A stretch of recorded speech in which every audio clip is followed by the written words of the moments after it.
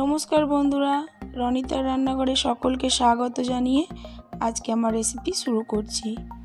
আজ আমি বানাতে চলেছি ঘুগনি, যা চটজলদি ভাই ফোটার সময়, খুব কম সময়ে আপনারা বানাতে পারেন। তাহলে চলুন বন্ধুরা, দেখে নিই আমি কীভাবে ঘুগনিটা বানাচ্ছি।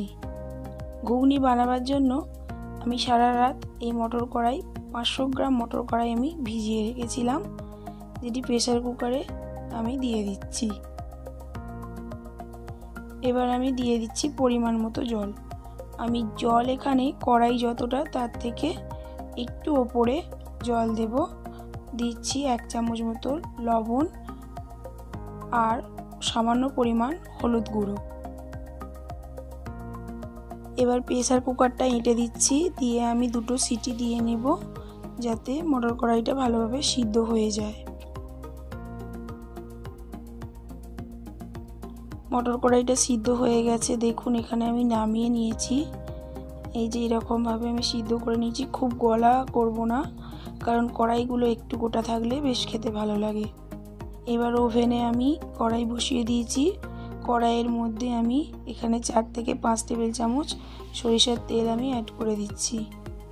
তেল গরম হয়ে গেলে এখানে আমি দুটি আলু ডুমো করে কেটে রেখেছি। ছোট ছোট করে সেগুলো আমি প্রথমে ভেজে নেব। ভাই ফোটার দিন আমাদের সকলকারই খুবই কাজ থাকে, তাই চটজলদি খুব কম উপকরণে এবং খুব তাড়াতাড়ি এই রেসিপিটি আপনারা বানিয়ে নিতে পারেন ভাইদেরকে পরিবেশন করার জন্য। জল খাবারে তো খুবই ভালো যাবে এটা, তাই এটা বানিয়ে দেখতে পারেন। আলুগুলি ভাজা হয়ে গেছে এবং বেশ ভালো মতো সিদ্ধও হয়ে গেছে, আমি তুলে নিলাম। এবার ওই তেলের মধ্যে দুটি মিডিয়াম সাইজের পেঁয়াজ কুচি আমি অ্যাড করে দিচ্ছি।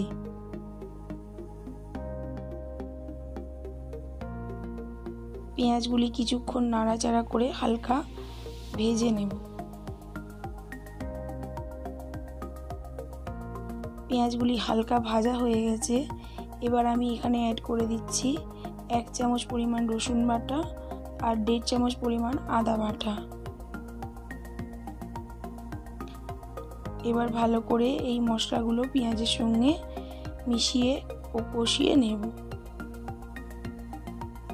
দিচ্ছি একটি বড় সাইজের টমাটো কুচি ও দুটি কাঁচা লঙ্কা চিড়ে রেখেছিলাম, সেটিও দিয়ে দিলাম। এবারও সমস্ত উপকরণ ভালো করে মিশিয়ে নেব। দিলাম এক চামচ লবণ, এক চামচ লঙ্কা গুঁড়ো, হাফ চামচ হলুদ গুঁড়ো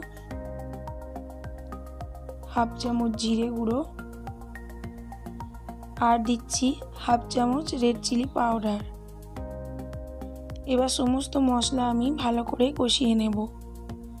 মশলা আমার ভালো করে কষানো হয়ে গেছে।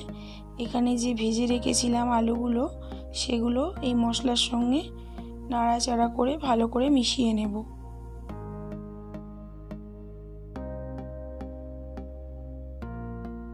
আলু ও মশলা একসাথে ভালো করে মিশানো হয়ে গেছে। এবার পরিমাণ মতো আমি এখানে জল অ্যাড করে দিচ্ছি। আলু ও মশলা ভালো করে ফুটে গেলে আমি এখানে জল সমেত মটর কড়াই সিদ্ধটা অ্যাড করে দেব। যেহেতু জলটা সিদ্ধ করা লবণ দেওয়া, সেহেতু আমি সেই জলটা ফেলে দিইনি, এর সঙ্গে অ্যাড করেই দিলাম। তো আরও পরিমাণ মতো কিছু জল আমি অ্যাড করে দেব।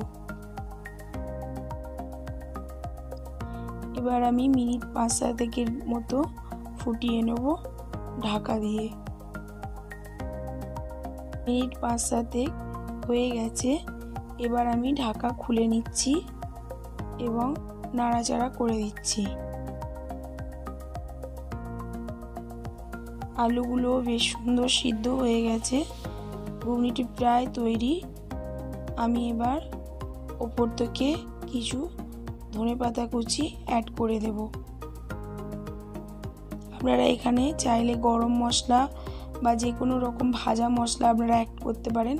তো আমি এখানে ধনে পাতা কুচি অ্যাড করলাম। ওভেন নিভিয়ে আমি পাঁচ মিনিটের জন্য রেস্টে রাখব। এবার আমি পরিবেশন করার জন্য একটি বড় পাত্রে ঘুগনিটি ঢেলে নিয়েছি। দেখুন ঘুগনিটা আমার দেখতে এরকম হয়েছে। এই ঘুগনি আপনারা খুব কম সময়ের মধ্যে করতে পারেন। তো আপনারা চটজলদি তৈরি করে ফেলুন ভাইফোঁটার দিন। ভাইদেরকে পরিবেশন করে দিন এইভাবে। আমি এখানে এইভাবে ছোট পাত্রের মধ্যে ঘুগনিটি পরিবেশন করেছি। পেঁয়াজ কুচি ধনে পাতা কুচি লঙ্কা কুচি, চুরি ভাজা এবং লেবুর রস দিয়ে আপনারা এরকমভাবে দোকানের মতো করে পরিবেশন করুন। বাচ্চাদেরও খুব ভালো লাগবে এই ঘুগনিটি। দোকান থেকে কিনে খাবার মতো একদম। তো বন্ধুরা, আমার রেসিপিটি কেমন লাগল অবশ্যই কমেন্ট বক্সে জানাবেন। যদি ভালো লাগে একটি লাইক করে দেবেন। আর যদি আমার চ্যানেলের নতুন বন্ধু হয়ে থাকেন, আমার চ্যানেলটি সাবস্ক্রাইব করার জন্য অনুরোধ রইল। আর পাশে থাকা বেল আইকনটাও ক্লিক করে রাখবেন, যাতে আমার সমস্ত রান্নার নোটিফিকেশন আপনার কাছে সবার আগে পৌঁছে যায়। ভালো থাকবেন, সুস্থ থাকবেন। ফিরে আসছি নতুন একটি রেসিপি নিয়ে। ধন্যবাদ।